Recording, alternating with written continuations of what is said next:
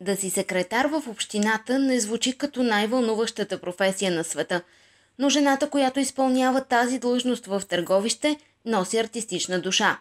И след рутинните срещи и организационни задачи, полита в света на изкуството.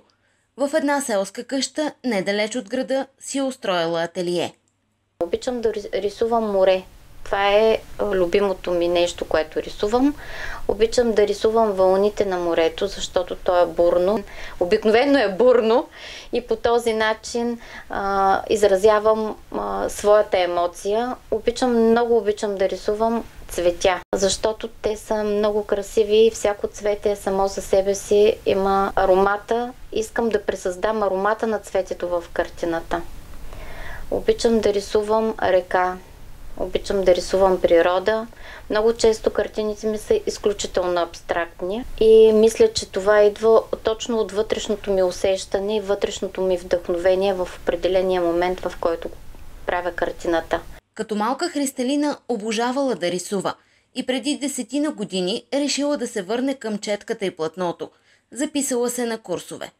Тогава обаче реших, че не мога да рисувам понеделник и петък примерно, защото тогава нямам вдъхновение. И започнах да си рисувам сама в къщи, точно когато аз искам, когато се чувствам необходимостта да рисувам и когато имам вдъхновение.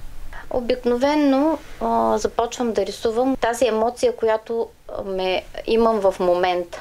Рисувам без да рисувам пред, преди това с молив.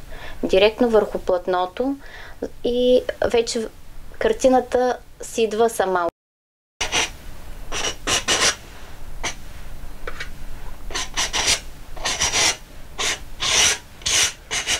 Спокойствието на селският и дом и близостта до природата също я вдъхновява.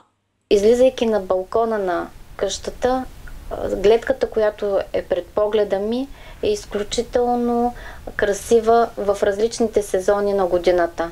Лятно време виждаш цъфналата лавандула в нивите засадена и усещаш включително аромата й.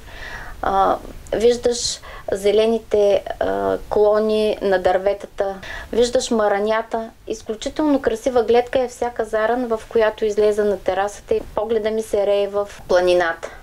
Христалина подарява картините си на близки и приятели, но участва и в местни изложби. Вглежда се в платната на големите художници, но се вслушва и в желанията на хората, за които рисува. И винаги влага част от себе си. Просто картината, това съм аз, това е емоцията ми в този момент, в тази секунда. Може би следващия път секундата ще бъде различна от тази, която е била в този момент но винаги влагам а, цвета, боичката, а, елемента от картината. Дали днеска ще рисувам в синьо или ще рисувам в лилаво или ще рисувам в жълто, това значи е моята емоция, каквато е в този момент. Христалина наскоро е завършила курсове по арт-терапия и трудотерапия и планира професионално да помага на хората чрез изкуство. Единственият начин – по който човек може да изрази себе си. Но в крайна сметка това, което рисува, е неговата почивка, неговия начин на подобряване на собствената си, собственото си психично здраве. И един ден, когато спра да се занимавам с администрация, не знам кога ще бъде този ден, но когато и да бъде, желанието ми е наистина да започна да се занимавам с групи и да помагам на, на хората, които имат нужда от това. Защото не случайно е казано, че изкуството, красотата ще спасят света.